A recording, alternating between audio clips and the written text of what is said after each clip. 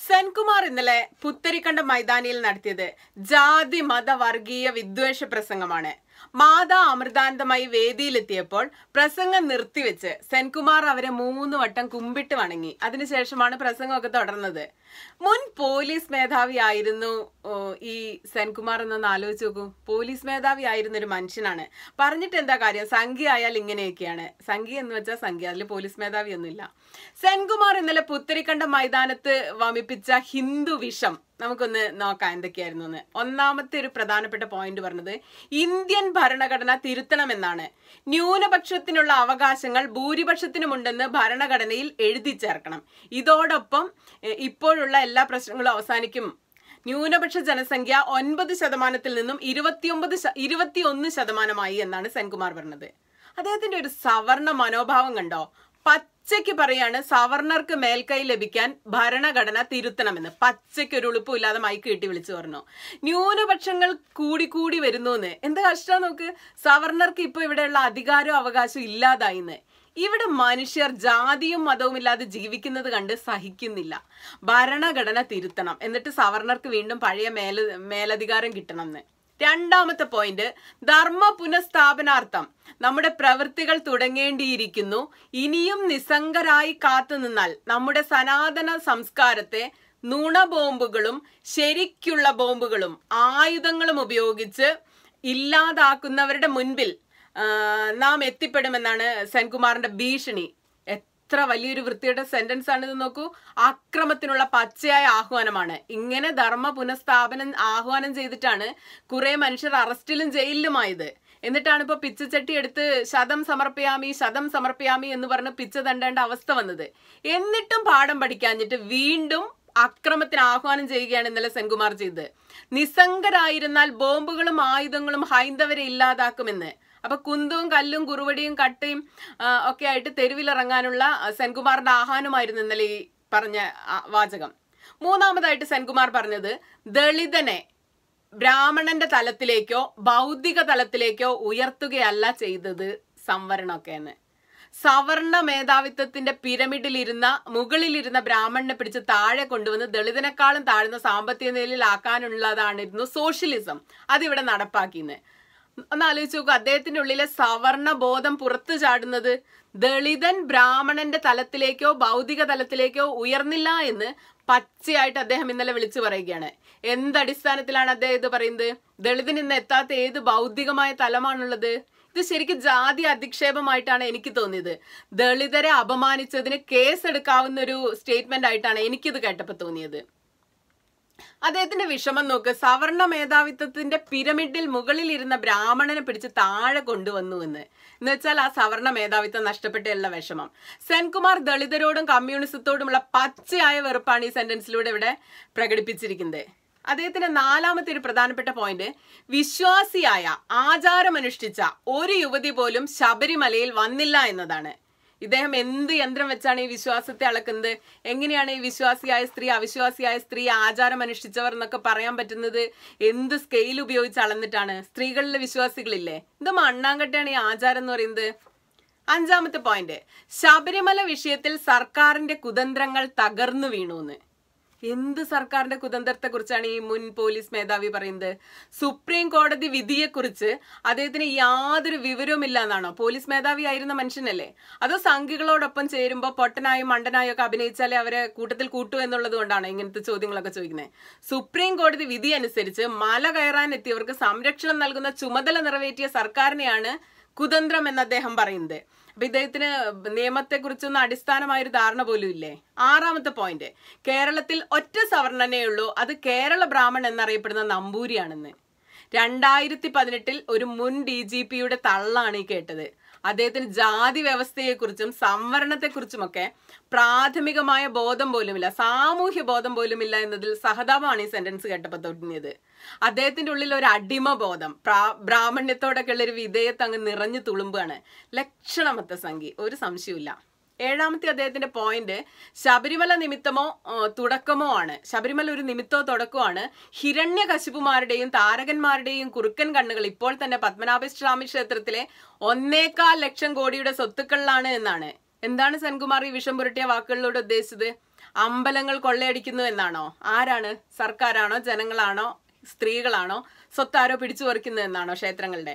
ഇതൊക്കെ സമൂഹത്തിൽ മതസ്പർദ്ധ വളർത്തുന്ന പരാമർശങ്ങളാണ് എന്നൊരു മുൻ ഡി ജി പിക്ക് അറിയാതിരിക്കില്ല. അപ്പൊ മനഃപൂർവം പറയാണ് ദിദിയുടെ പുത്രനാണ് മൂന്ന് ലോകങ്ങളും കീഴടക്കിയ യുദ്ധക്കൊതി കൊണ്ട് അഹങ്കാരം കൊണ്ട് മത്തനായി തീർന്ന ഹിരണ്യകശിപു. ആരാ ഇവിടെ ഹിരണ്യകശിപു? മനുഷ്യർ നോക്കുമ്പോൾ സംഘപരിവാറാണ് ഹിരണ്യകശിപു. സംഹാരമാണ് ലക്ഷ്യം. അങ്ങനെയെങ്കിൽ ശത്രു സംഹാരത്തിനായി ഉടലെടുത്ത ഉഗ്ര അവതാരമാണ് പിണറായി വിജയൻ എന്ന മുഖ്യമന്ത്രി എന്ന് സെൻകുമാർ അങ്ങ് ധരിച്ചോട്ടെ. അതായിരിക്കും ശരി. ഹിരണ്യകശിപുമാരെ നിഗ്രഹിക്കാൻ വേണ്ടി ജന്മമെടുത്തതാ വജ്രാംഗത്തിന്റെയും വജ്രാംഗിയുടെയും പുത്രനാണ് താരകൻ. ആരാ ഇവിടെ താരകൻ എന്ന് ഉദ്ദേശിച്ചത് ആരെയായിരിക്കും? സ്ത്രീവിരുദ്ധരാണ് താരകരെങ്കിൽ താരക നിഗ്രഹവും സുബ്രഹ്മണ്യന്റെ കൈകൊണ്ടാണ് ഉണ്ടാവുക. സുബ്രഹ്മണ്യൻ ചിലപ്പോൾ സുപ്രീം കോടതി ആയിരിക്കും. അഭിനവ സുബ്രഹ്മണ്യൻ. അപ്പൊ താരക നിഗ്രഹവും ഹിരണ്യകശുപുവിന്റെ നിഗ്രഹവും ഒക്കെ സെൻകുമാർ കാണേണ്ടി വരും. എട്ടാമത്തെ പോയിന്റ് ഹൈന്ദവ ധർമ്മം ചവിട്ടി അരച്ചവർക്കെതിരെ തെരഞ്ഞെടുപ്പിൽ വജ്രായുധം പ്രയോഗിക്കണമെന്ന്. കോടികൾ ചെലവഴിച്ച് പണിഞ്ഞ പൊളിഞ്ഞ മതിലല്ല ഇത്. ജ്യോതിയാണ് ഇത് തിരഞ്ഞെടുപ്പിൽ തെളിയിക്കണമെന്നും തിരഞ്ഞെടുപ്പിൽ വജ്രായുധം കൊണ്ട് മറുപടി കൊടുക്കണമെന്നും സെൻകുമാർ ആഹ്വാനം ചെയ്തു. അയ്യപ്പ സംഗമം എന്നും അയ്യപ്പ കർമ്മ സേവാ സമിതി എന്നൊക്കെ പറഞ്ഞായിരുന്നു ഇതുവരെ നടപ്പ്. രാഷ്ട്രീയമില്ലെന്നും ഭക്തർക്കൊപ്പം എന്നും പറഞ്ഞായിരുന്നു ഇതുവരെ പുറത്തു പറഞ്ഞിരുന്നത്. എന്നാൽ ഈ ആഹ്വാനത്തിലൂടെ വിശ്വ വിശ്വാസിയുടെ തോലണിഞ്ഞ ഒരു സംഘി ചെന്നായയാണ് അയ്യപ്പ കർമ്മസമിതി എന്ന് ആണ് പുറത്തു വന്നിരിക്കുന്നത്. തെരഞ്ഞെടുപ്പിൽ ആർക്ക് വോട്ട് ചെയ്യണമെന്നാണ് പറഞ്ഞത്? അപ്പോ യഥാർത്ഥ ഭക്തർക്ക് മനസ്സിലായി കാണും സംഘപരിവാർ എങ്ങനെയാണ് അവരുടെ രാഷ്ട്രീയം ഒളിച്ചു കടത്തുന്നതെന്ന്. അത് മനസ്സിലാക്കാനുള്ള ഒരു ഉദാ എക്സാമ്പിൾ ആയിരുന്നു ഇന്നലത്തെ പ്രസംഗം. ഇന്നലെ പുത്തരിക്കണ്ട മൈതാനിയിൽ അമൃതാനന്ദമയിയുടെയും സെൻകുമാറിന്റെയും രൂപത്തിൽ സംഘി രാഷ്ട്രീയമാണ് ഒളിച്ചു കടത്തിയത്. എത്ര വിദഗ്ധമായിട്ടാണ് അവർ അവരുടെ രാഷ്ട്രീയം കൊണ്ടുവന്നത്? ഇന്നലെ പുത്തരിക്കണ്ടത്ത് നടന്നത് ശരിക്കും സംഘപരിവാറിന്റെ തെരഞ്ഞെടുപ്പ് പ്രചാരണ യോഗമാണ്. അതിന് അയ്യപ്പനുമായി ഒരു ബന്ധവുമില്ല എന്നതാണ് സത്യം. അല്ലെങ്കിൽ വനിതാ മതിലൊക്കെ എന്തിനാണ് സെൻകുമാറിനെ അയ്യപ്പന്മാരെയൊക്കെ അസ്വസ്ഥപ്പെടുത്തുന്നത്? അയ്യപ്പ ഭക്തരെ അസ്വസ്ഥപ്പെടുത്തേണ്ട കാര്യമാണോ? സെൻകുമാറിന് എന്താണ് വനിതാ മതിലിനോടൊക്കെയുള്ള പ്രശ്നം? ഒൻപതാമത്തെ പോയിന്റ്. തെരഞ്ഞെടുപ്പിൽ ധർമ്മത്തെ ചവിട്ടി അരച്ചവർക്കല്ല സംരക്ഷിച്ചവരെയാണ് സഹായിക്കേണ്ടത്. ആർക്ക് വോട്ട് ചെയ്യണമെന്ന് കൃത്യമായ ആഹ്വാനം കൊടുക്കായിരുന്നു ഈ സെന്റൻസ് വഴി. പക്ഷെ സെൻകുമാറിനോടൊരു ചോദ്യമുണ്ട്. എന്താണ് ഈ ധർമ്മം എന്ന് വെച്ചാൽ? നിങ്ങൾ ആരുടെ ധർമ്മത്തെക്കുറിച്ചാണ് സെൻകുമാർ സംസാരിക്കുന്നത്? സവർണരായ പുരുഷന്മാരുടെ ധർമ്മത്തെക്കുറിച്ചാണോ സെൻകുമാർ സംസാരിക്കുന്നത്? മാതാമൃതാനന്ദമായി ഇരിക്കുന്ന വേദിയിൽ പുരുഷന്മാരുടെ ധർമ്മത്തെക്കുറിച്ച് സംസാരിക്കുകയാണോ സെൻകുമാർ? അവർണരുടെയും സ്ത്രീകളുടെയും ന്യൂനപക്ഷങ്ങളുടെയും ധർമ്മത്തെക്കുറിച്ച് എന്താണ് പറയാനുള്ളത്? തുല്യം.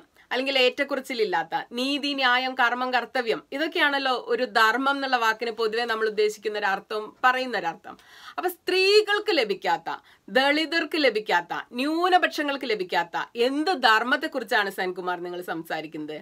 ഒരു സ്ത്രീ വിരുദ്ധനെയും ഒരു പുരോഗമന ജനതയും പിന്തുണയ്ക്കുമെന്ന് സെൻകുമാർ സ്വപ്നം കാണണ്ട. ആ, വോട്ട് എന്ന് പറയുന്ന വജ്രായുധം സ്ത്രീ വിരുദ്ധന്മാരെ പിന്തുണയ്ക്കാനുള്ള സാധനമല്ല. സംഘപരിവാറിന് വോട്ട് ചെയ്യണമെന്ന് പച്ചയായിട്ടുള്ള ആഹ്വാനമാണ് സെൻകുമാർ ഇന്നലെ നടത്തിയത്. പത്താമത്തെ പോയിന്റ് അക്രമം അഴിച്ചുവിട്ടതിന് അറസ്റ്റിലായ സംഘപരിവാർ പ്രവർത്തകരെ മുൻ പോലീസ് മേധാവി പിന്തുണച്ചു ന്യായീകരിച്ചു. ധർമ്മ സംരക്ഷണത്തിൽ പരിക്കേറ്റവരും കള്ളക്കേസിൽ ഉൾപ്പെട്ടവരും ഒക്കെയാണ് ഈ അക്രമികൾ എന്നാണ് ഒരു മുൻ പോലീസ് മേധാവി പറഞ്ഞത്. അക്രമികളെ കള്ളക്കേസിൽ കുടുക്കിയതാണെന്ന്. എങ്ങനെയുണ്ട്? നല്ല ബെസ്റ്റ് സ്റ്റേറ്റ്മെന്റ് ആയിപ്പോയത് ഇദ്ദേഹമായിരുന്നു നമുക്ക് കുറച്ചു കാലം നീതി തന്നത് എന്ന് ഓർക്കുമ്പോൾ സത്യത്തിൽ ഭയം തോന്നുന്നുണ്ട്. കാരണം ആചാരം ധർമ്മം എന്നൊക്കെ പുലമ്പുന്ന ഒരാളായിരുന്നു നമ്മളുടെ പോലീസ് മേധാവി. നമുക്ക് എന്ത് നീതിയായിരിക്കും അദ്ദേഹം തന്നെ എന്തിന്റെ അടിസ്ഥാനത്തിലായിരിക്കും? ഭരണഘടനയുടെ അടിസ്ഥാനത്തിലായിരിക്കില്ല. ഭരണഘടനയെ അദ്ദേഹം വിലവെക്കുന്നില്ല. അത് സവർണർക്ക് അനുകൂലമായി തിരുത്തണം എന്ന് പറയുന്ന ഒരു മുൻ ഡി ജി പി സുപ്രീം കോടതി വിധി അദ്ദേഹം പാലിക്കുന്നില്ല. വിധി അനുസരിച്ച് സ്ത്രീകൾ ശബരിമലയിൽ കയറാൻ അദ്ദേഹം അനുവദിക്കുന്നില്ല. നിയമത്തിന് പുല്ല് വില കൽപ്പിക്കുന്ന ഒരാളായിരുന്നു നമ്മുടെ മുൻ ഡി ജി പി ഇദ്ദേഹമായിരുന്നു നമ്മുടെ ലോ ആൻഡ് ഓർഡർ കൈകാര്യം ചെയ്തിരുന്നത്. ഇന്നലത്തെ പുത്തരിക്കണ്ട മൈതാനം പ്രസംഗം വ്യക്തമായും കൃത്യമായും വർഗീയ വിദ്വേഷം ഉണ്ടാക്കുന്നതാണ്. ദളിത് വിരുദ്ധ പരാമർശങ്ങളുണ്ട് അതിൽ. വിവേചനപരമാണത് സ്ത്രീ വിരുദ്ധമാണത്. സർക്കാരിന് കേസെടുക്കണം. ദളിതർ പരാതി നൽകണം. മുൻ പോലീസ് മേധാവി സംഖ്യയാകുമ്പോൾ വരുന്ന ഓരോ അവസ്ഥയാണ് ഇതൊക്കെ. ഇത്രയും വലിയ ദളിത് വിരുദ്ധ ന്യൂനപക്ഷ വിരുദ്ധ എന്താ പറയുക സ്ത്രീ വിരുദ്ധ പ്രസംഗങ്ങളൊക്കെ നടത്താൻ ഒരു മുൻ ഡി ജി പിക്ക് കഴിയുമെന്നത് ആലോചിച്ച് നോക്കൂ. അപ്പം ഞാൻ ഇതൊക്കെ കേട്ടപ്പോൾ ആലോചിക്കുന്ന എന്താന്ന് വെച്ചാൽ ഒരു ഇദ്ദേഹം നമ്മളുടെ ഡി ജി പി ആയിരുന്നു. ലോ ആൻഡ് ഓർഡർ കൈകാര്യം ചെയ്തു. കേരളത്തിലെ മുഴുവൻ മനുഷ്യരും നീതിക്ക് വേണ്ടി ഇദ്ദേഹത്തെ ആയിരുന്നു ആശ്രയിച്ചിരുന്നത്. അപ്പം ഇദ്ദേഹം ബേസ് ആയിട്ട് സ്വീകരിച്ച പ്രമാണം എന്തായിരിക്കും? ആചാരവും മനുസ്മൃതിയും പിന്നെ ഗീതയൊക്കെ അനുസരിച്ചാണോ നമുക്ക് നീതി തന്നെ അല്ലാതെ ഭരണഘടന സുപ്രീം കോടതി വിധി ഇതിനൊക്കെ എന്ത് വിലയാണ് ഈ മനുഷ്യൻ കൽപ്പിക്കുന്നത്? സ്ത്രീകൾക്ക് എന്ത് വിലയാണ് ഈ മനുഷ്യന്റെ മുന്നിലുള്ളത്? ഒരു സുപ്രീം കോടതി വിധി അനുസരിച്ച് സ്ത്രീകൾ ശബരിമലയിൽ കയറിക്കോട്ടെ എന്ന് പറഞ്ഞതാണ് ഇവിടുത്തെ വിഷയം. അതിനെതിരെയാണ് സെൻകുമാറി സംസാരിക്കുന്നതും പ്രസംഗിക്കുന്നതും പ്രചാരണം നടത്തുന്നതും. സംഘപരിവാർ രാഷ്ട്രീയം സ്വീകരിച്ച് സംഘപരിവാർ വോട്ട് ചെയ്യണമെന്ന് പോലും ആഹ്വാനം ചെയ്യുന്ന ഈ ഡി ജി പി ഈ മുൻ ഡി ജി പി നമ്മൾക്ക് എന്ത് നീതിയാണ് തന്നതെന്ന് ഓരോരുത്തരും ആലോചിക്കുക. ഇദ്ദേഹത്തിൽ നിന്ന് അനീതി നേരിട്ട വല്ലവരുമുണ്ടെങ്കിൽ ഈ സമയത്തിൽ ഒരു വീണ്ടു വീണ്ടും വിചാരം ഉണ്ടായി ആ കേസുകളൊക്കെ റീഓപ്പൺ ചെയ്ത് നീതിക്ക് വേണ്ടി സർക്കാരിനെ സമീപിക്കുക.